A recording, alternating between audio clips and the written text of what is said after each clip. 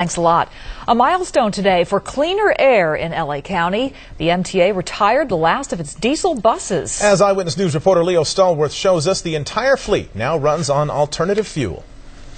This morning, the Los Angeles County Metropolitan Transportation Authority retired the last diesel fuel bus in its fleet.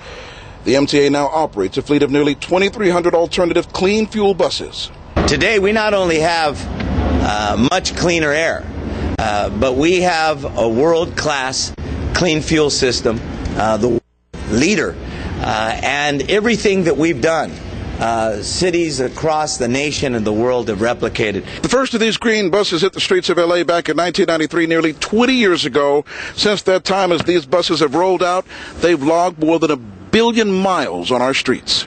MTA officials say that's a billion clean air miles. They are 97% cleaner than diesel buses, and they are replacing these diesel buses. As a result, we are reducing cancer causing particulate matter by 98%, carbon monoxide by 80%, greenhouse gases by over 20%. While most of the buses have compressed natural gas engines or CNG engines, there is one electric and six gasoline electric hybrid buses in the fleets. Officials say they've slashed the fleet's fuel cost in half with the CNG buses. Metro riders we talked to believe CNG buses and other clean air efforts have gone a long way in getting rid of dirty air. As they say, it is the nation's largest clean air fleet, and we're proud of that. 20 years ago, you couldn't even you can't you couldn't even run without um, breathing uh, hard, like you had asthma or something.